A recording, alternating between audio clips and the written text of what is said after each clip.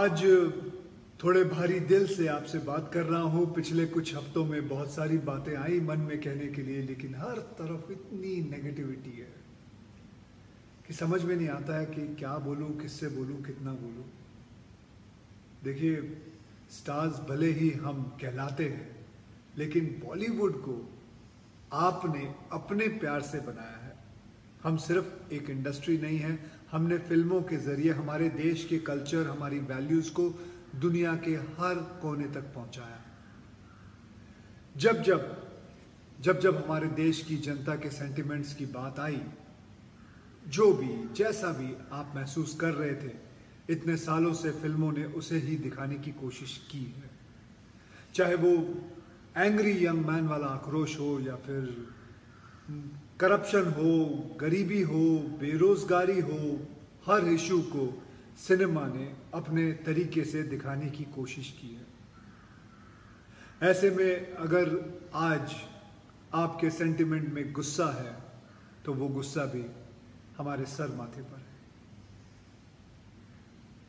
सुशांत सिंह राजपूत की sudden death के बाद से ऐसे बहुत से इश्यूज़ सामने आए हैं। जिन्होंने हमें भी इतना ही दर्द दिया है जितना आप सबको।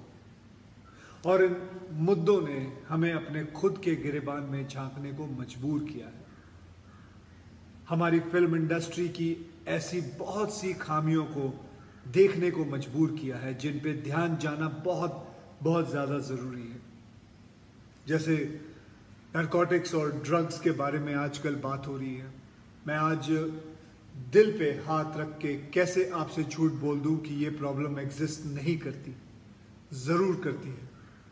वैसे ही जैसे हर इंडस्ट्री पर हर प्रोफेशन में होती होगी, पर हर प्रोफेशन का हर इंसान उस प्रॉब्लम में इन्वॉल्व हो, ऐसा ऐसा नहीं हो सकता, ऐसा थोड़ी होता है। Drugs is a legal matter और मुझे पूरा विश्वास है कि हमारी लॉ एनफोर्समेंट अथॉरिटीज और कोर्ट्स इस पे जो भी जाँच, जो भी एक्शन ले रही है वो बिल्कुल सही होगा।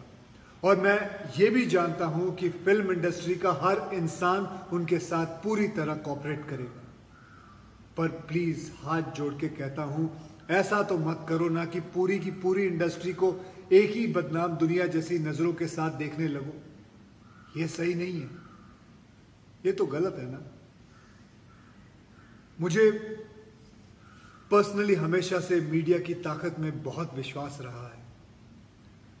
हमारा मीडिया अगर सही मुद्दे, सही वक्त पे ना उठाए तो शायद बहुत से लोगों को ना आवाज़ मिलेगी, ना इंसाफ। मैं मीडिया से, तहे दिल से रिक्वेस्ट करना चाहता हूँ कि वो अपना काम, अपनी आवाज़ उठाना जारी रखे, लेकिन प्लीज़ थोड़ा सेंसिटिवली क्योंकि एक नेगेटिव न्यूज़ किसी इंसान के सालों की रेपुटेशन बरसों की कड़ी मेहनत को बर्बाद करके रख देगा।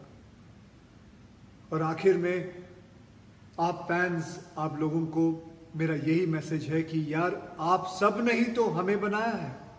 आपका विश्वास जाने नहीं देंगे। अगर आपको कोई नाराज़गी है तो हम और मेहनत करेंगे अपनी खामियों को दूर करने की। आपका प्यार और विश्वास जीत के रहेंगे। यार, आप हो तो हम हैं। बस साथ निभाए रहना, साथ बनाए रखना। बस thank you thank you very